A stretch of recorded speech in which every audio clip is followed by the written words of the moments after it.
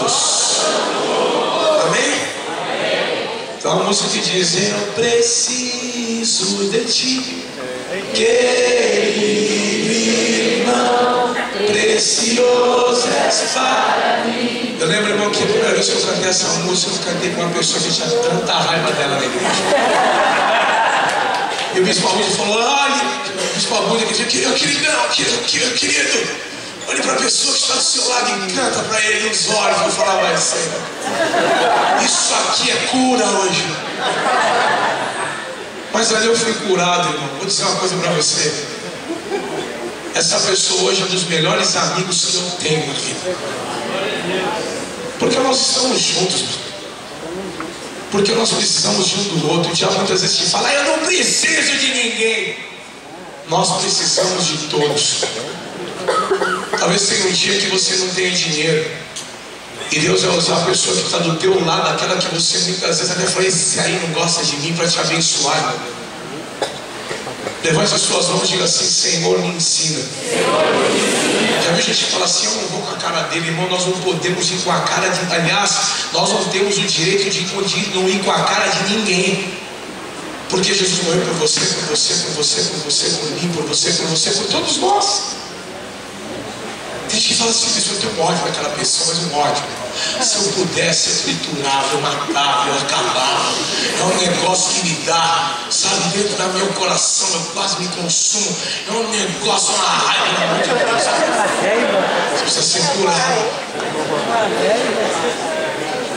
Não é, irmãos? Diga assim, eu não vou me isolar. Uzias se isolou foi morar numa casa separada do lugar onde estava a bênção. E sabe o que aconteceu com Uzias? Em terceiro lugar, ele morreu. Não deixe o diabo matar a unção que está na tua vida. Não deixe o diabo matar o teu chamado. Não deixe o diabo matar o teu casamento. Não deixe o diabo matar os teus sentimentos. Não deixe o diabo matar a tua motivação. No dia em que você não tiver mais isso, você acabou. No dia em que você vier a um culto que você não chora, não derrama a tua vida, no dia em que você entra neste lugar e é mais um culto, mais um dia, mais uma escala, Aliás, eu estava falando uma pessoa uma vez, tinha essa escala, negócio a escala da diaconia. Ela falou, bispo, não era bispo, você acha que era diácono. Diácono, essa semana eu vou trabalhar um dia menos na escala. Eu falei, mas por quê? Porque semana passada eu trabalhei um dia mais na escala da outra pessoa. E essa semana eu tenho o direito de descanso. Eu falei para ela, já pensou se Deus pensasse assim? Ó, esse mês eu vou te abençoar menos, porque mês passado eu te abençoei demais. Diga assim, Senhor, eu preciso de mais. Eu não vou deixar que, que morra e que se extinga. Diga assim, o Espírito que o Senhor colocou dentro de mim. Então hoje, irmão, você vai se derramar neste lugar. Então, a partir de hoje, você vai buscar isso todos os dias na tua vida. Quando você subir no altar, aonde você for, no que você realizar, sabe o que está precisando? Você precisa ter aquela, aquele amor, aquilo que você tinha, aquele fogo na tua vida quando você evangelizava, quando você falava de Jesus Cristo para as pessoas. Aliás, lá no teu trabalho você tem que incomodar em nome de Jesus. Dizem que o elefante incomoda muita gente. Mas eu digo que o apostólico incomoda muita gente. Amém. Dois apostólicos incomodam e incomodam muito mais. Três então nem se fala. Imagine, seis milhões que vão às ruas. Incomodam, incomodam muito mais. Diga assim, Senhor, eu preciso incomodar. E aonde você for, vai ter demônio pulando de um lado, vão te perseguir, vão falar mal de você, vão falar, ó, oh, é, você é o crente. É, eu sou cheio do Espírito mesmo. E vem cá que eu já vou tirar esse demônio da tua vida. Porque aonde você for, Deus vai fazer a diferença através de você. Diga assim: Eu não vou morrer. Por isso, nessa noite, eu quero que você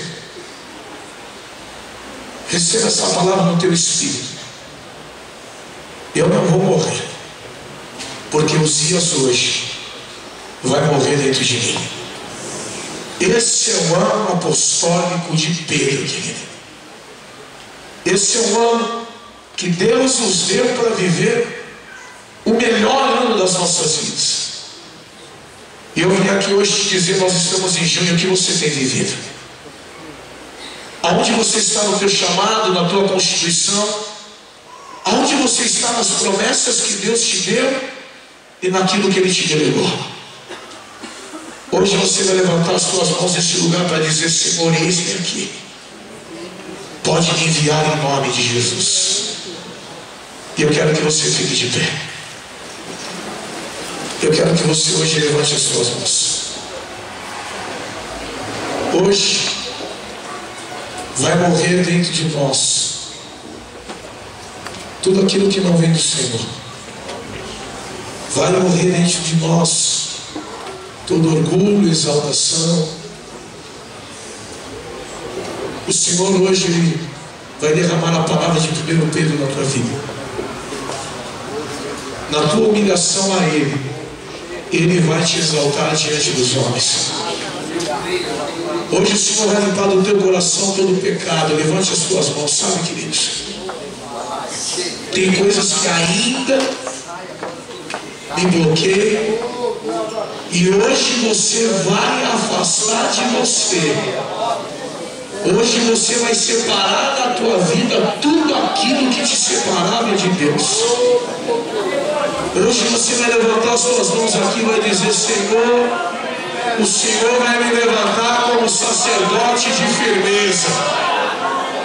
Você vai se levantar aqui hoje para dizer, Espírito de Deus, sai deste lugar. Sai da minha vida. E aquilo que queria resistir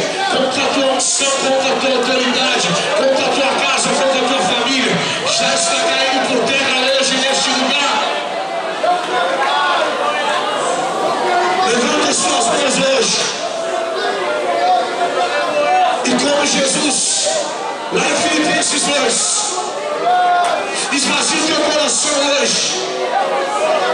Fala, Senhor, hoje eu quero me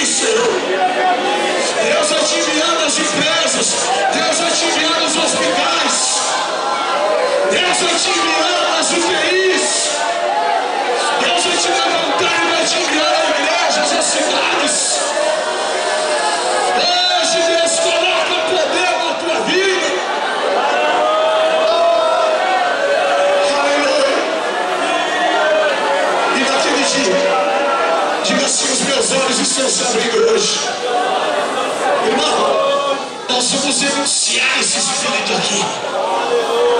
Porque a primeira coisa